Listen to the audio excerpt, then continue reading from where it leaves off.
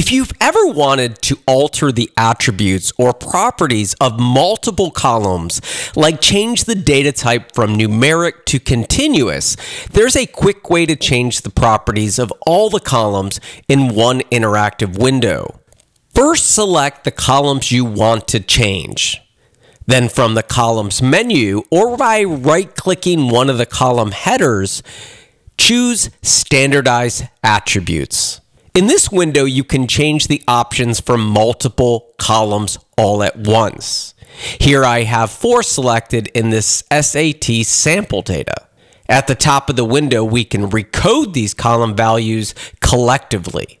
We can standardize attributes like changing the data type of all four of these columns to numeric. And under standardized properties, I can add an identical formula and apply that to all of the columns I have selected. I imagine if you had a really wide data table, let's say 200 columns wide, this would be a huge time saver.